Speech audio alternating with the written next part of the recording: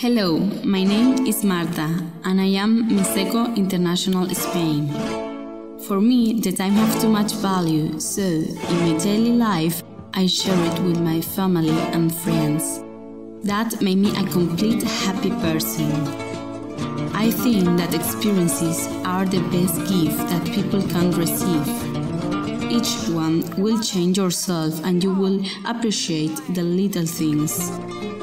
I could say that by my Spanish culture, I have learned to feel the art of the creation, enjoy each moment as if it will be the last one.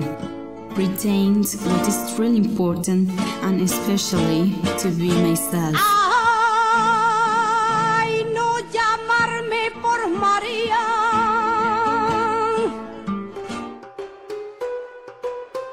I know there are some places in the